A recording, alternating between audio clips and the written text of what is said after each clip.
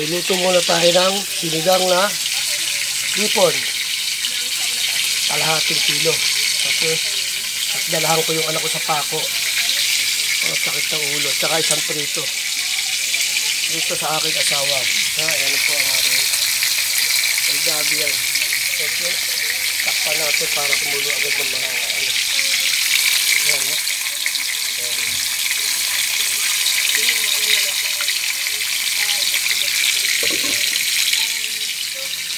Ito.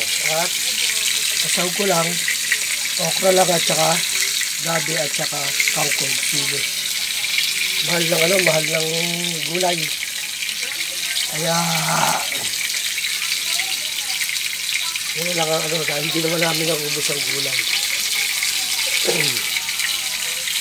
Pupunta kami sa aking anak.